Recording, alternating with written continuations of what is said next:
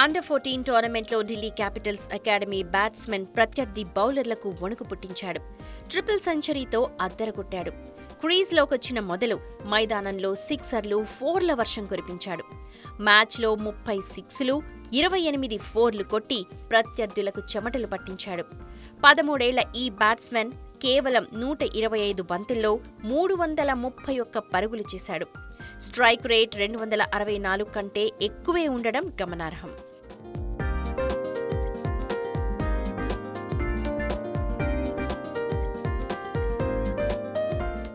ఢిల్లీకి చెందిన Mehak Kumar under fourteen dream chaser కప్లో ట్రిపుల్ సెంచరీ సాధించాడు.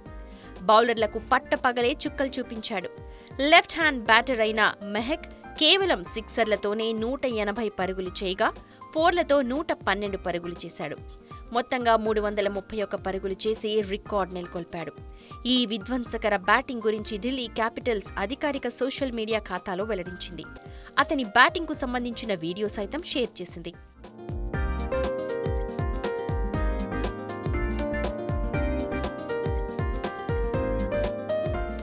ఇకపోతే రెండు వేల పదహారు సంవత్సరంలో మహారాష్ట్ర క్రికెటర్ ప్రణవ్ దన్వాడే స్కూల్ క్రికెట్లో తన బ్యాటింగ్తో అంతని ఆశ్చర్యానికి గురిచేశాడు.